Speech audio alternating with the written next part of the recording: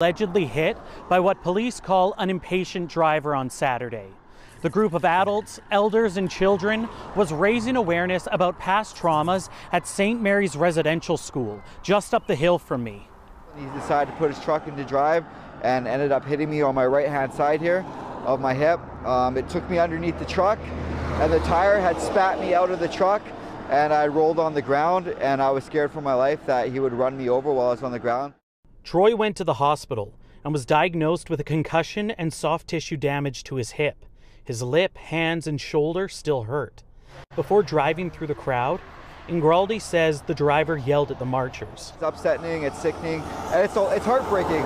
It's not uh, heartbreaking for our people too, it's heartbreaking for the community. After seeing coverage of the hit and run, a 77 year old man has turned himself in.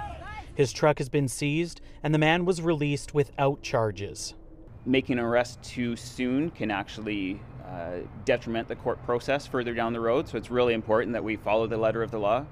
But people at the march say the investigation is taking too long. If it were any of us, we would have been detained right away. There would have been more than one officer. There would have been charges. We would still be in cells right now. And we are doing that absolutely without any bias um, and with the victims, in this case, with their best interest in mind. We don't know the identity of the driver, but as for the victims, they're still grappling with what happened and hope that charges will be laid soon. Joel Ballard, CBC News, Mission.